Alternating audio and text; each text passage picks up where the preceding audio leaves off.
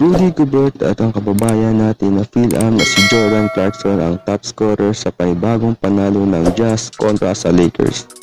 Nanguna sina Rudy Gobert at Jordan Clarkson na may tig 18 points para mangibabaw ang Utah Jazz laban sa defending champion na Los Angeles Lakers sa score na 114 to 89. Ito na ang ika-22 panalo ng Jazz mula sa huli nilang laban na may 24 games.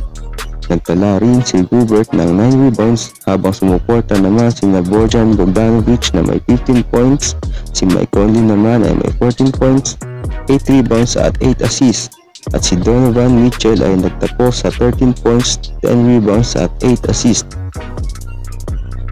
Sa panig naman ng Lakers na may standing na 22-11, si LeBron James ay nagpakita ng 19 points habang si Montrezl Harrell ay nagambag ng 16 points.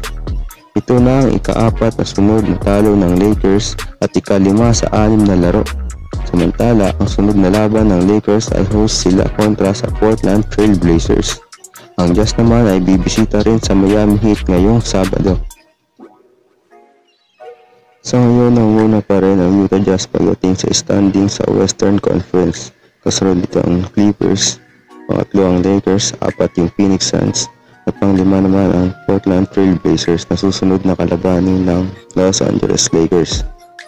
At dito naman sa Eastern Conference, nangunguna naman ang 76ers, pangalawa yung Brooklyn Nets, pangatlo yung Milwaukee Bucks, at pang-apat ang Indiana Pacers. Tiwala rin si Frank Vogel na makakabalik na nga itong si Dennis Schroeder sa susunod na laban ng Los Angeles Lakers hanggang maklear niya na ang lahat ng protocols.